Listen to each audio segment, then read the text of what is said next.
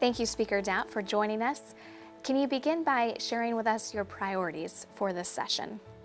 Our priorities really are twofold. Number one, uh, we have a surplus uh, that we've had kind of continually now for four or five forecasts and, and our three or four forecasts. Uh, our priority is to give some, some of that money back to taxpayers. So do some significant tax relief, uh, really in a meaningful way, something that's going to make a difference in, in people's lives. Both uh, Minnesota families, kind of middle class uh, tax relief, uh, and also uh, some tax relief that hopefully could spur some job growth in Minnesota, which really will provide better job opportunities and higher paying job opportunities for Minnesotans. Um, and then secondly, we want to tackle uh, transportation infrastructure funding. So uh, more specifically, putting some significant resources into our road and bridge infrastructure and really putting in place what I think will end up being uh, a 10-year plan that, that uh, will infuse those needed dollars into our road and bridge infrastructure.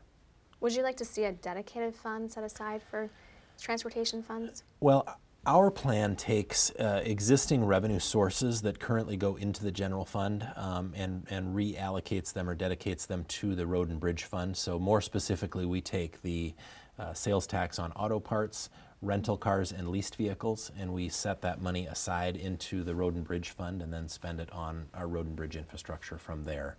Um, and we can do that right now because we have currently a surplus in our general fund and projected future surpluses. Uh, so we're, that surplus is projected to continue into the future. Um, so it gives us an opportunity to do that right now. And I'll remind uh, folks that, that road and bridge infrastructure is one of our kind of constitutionally defined core functions of state government, like education and public safety. So it really is a priority enough that, that our founding fathers put it in our state constitution. Um, and we should respect that and make sure that we take care of that first before we use surplus dollars and spend it on other things. Um, and we did pass a fully funded state budget last year uh, with about a 5% increase. That's, that's higher than some wanted. It's lower than others wanted, but it was a compromise that I think uh, fully funded our state government. So now with the surplus, we can look at giving it back to Minnesotans in a meaningful way um, and also investing a small part of it into our road and bridge infrastructure. And I think people broadly support that. How does a short session affect those priorities? Well, we will have to be much more focused having just a 10 week session. Um, obviously, the 10 week session was a result of the construction schedule at our, at our uh, state capitol, um, which has been uh, closed for uh, the better part of a year now, and, uh, and, and the only thing that will be open in the state capitol this session is just the House chamber. So we will have public access. Um, we will not have our, our gallery, but we will set up some temporary galleries in the alcoves of the House chamber. So it's going to be a little bit different, but we'll still have public access and, and uh, um, we will have that shorter session, uh, which will mean we'll need to be much more focused and uh, uh, probably want to kind of manage expectations that we might not be doing a lot of additional things. Um, we'll, we'll stick to the basics and make sure we get those done and do those well um, and, and make sure that we're, uh, we're representing those priorities, getting, getting those passed. And obviously with the Capitol closed, public access is going to be limited. So what would you want the public to know about how they can still have their input heard. Well, we will have that public viewing area in the alcoves, and, and actually it might be kind of interesting for the public to see that and to be there right, really right on the floor of the House as we're in session. Um, we probably will not have quite as much access for public, but we will try to uh, cycle people through. So if, if folks want to come, um, we'll, we'll hopefully have tickets available that people can get into that area. Uh, for people that can't get to the Capitol or uh, may want to watch from, from the, Senate, uh, the state office building across the street. Uh, we will have uh, one of our hearing rooms with a large screen set up for viewing of the, of the sessions, and, and we'll have pages set up that they can run messages over to members uh, so that folks will still have uh, as much access as possible and that they're not disrupted by um, the, the construction that's going on. What has your caucus been doing in the interim in preparation for a short session? You know, not necessarily. Um, I think what we are doing is trying to focus our priorities on uh, the issues that are most important, obviously the tax relief and the transportation that we talked about. Um, we, we have been, many of our committee chairs have been having pre-hearings um, discussing some of the things that, that they want to tackle and work on. Um, and I think there are opportunities to get many other things done, but uh, we want to kind of make sure that we manage expectations and that, that people don't think we're going to be here for six months and um, that we're going to have a lot of extra time. We want to make sure that people are focused and, and ready, um, that when we start session on, on March 8th, that we hit the ground running and, and uh, we're ready to kind of take up and act on those, those priorities. Um, and as things come up, you know, we'll be able to deal with them. For instance, we need to take action on uh, the, the real ID issue, and we need to do that really twice during session is, is, is what I think will probably happen. Uh, first, and hopefully we can do this in the first week of session, uh, repeal the um, prohibition that exists in law that doesn't allow the state of Minnesota to even pursue looking into uh, complying with Real ID. Um, and then secondly, we need to enact the Real ID legislation before the end of session. Um, so we're going to need to give some time between the repeal of the prohibition and the enactment of the language for the department to uh, look at some options and, and come back with some recommendations for us to have hearings and then pass that into law. Um, and, and we feel like the state of Minnesota needs to be issuing Real ID compliant driver's license by October of 2016. Um, and that's in an effort to uh, make sure that everyone can get their driver's license replaced in the normal course of expiration and replacement, um, which happens on a four-year cycle in Minnesota, by the final deadline of October of 2020. Um, so when you think about the, the real deadline, October of 2020 seems like a long time away, but um, we really need to be issuing those driver's licenses by October of this year. And that's going to be a, a, a, tight schedule to get that all uh, debated, passed, and, and implemented um, in a way that ensures that people can get on an airplane um, and not have to worry about whether their ID will work or not. And, and, Minnesotans are really concerned about that issue. So that's just one example of um, a, a bigger issue that we really do need to take up and pass this session. And two other issues that were talked about this year for a special session were unemployment benefits for Iron Range miners and racial disparities. Now, you said that these issues could be dealt with in a regular session. How quickly do you think that could happen?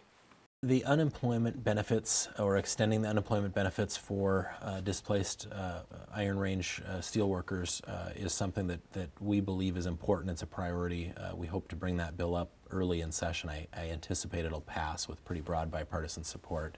Um, we think that's important. Um, the racial uh, inequity or disparity issue in the in the wages uh, is a little more difficult issue because there isn't an, an, an easy automatic solution to solve that problem. Uh, it took us many many years to get here and it may take many years to get out of this situation but we couldn't be more concerned about the severity of the issue um, but we also see a connection between um, the, the huge disparity in wages for the community of communities of color in Minnesota, um, and the fact that we have the highest achievement gap in the country.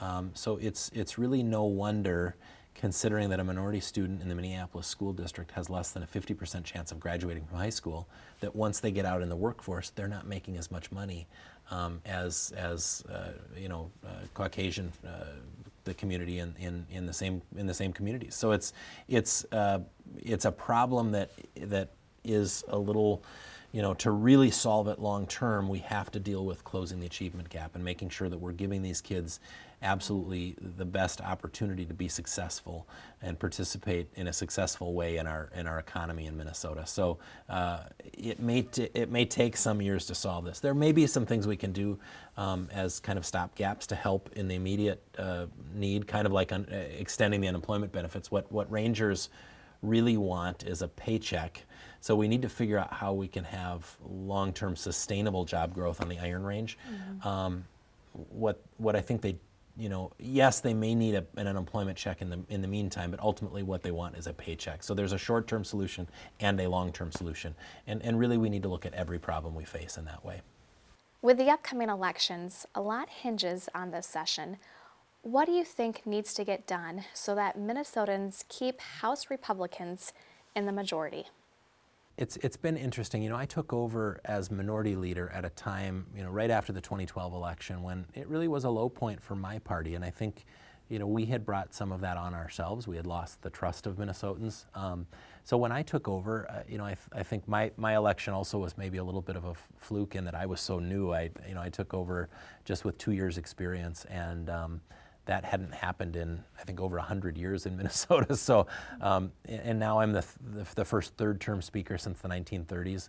Um, you know, I very often joke that uh, there's some good and bad that goes with that. The, the the bad is I don't have the institutional knowledge of this place, and the good, frankly, is I don't have the institutional knowledge of this place. So we can think outside the box. We can do things differently. I, I very much have a, a, a mind and a, a, brain that is um, wants to solve problems and, and find solutions for problems. And I think, frankly, Minnesota is served better if we stick to the issues and don't get into the name calling. I think that's what people hate about what we do.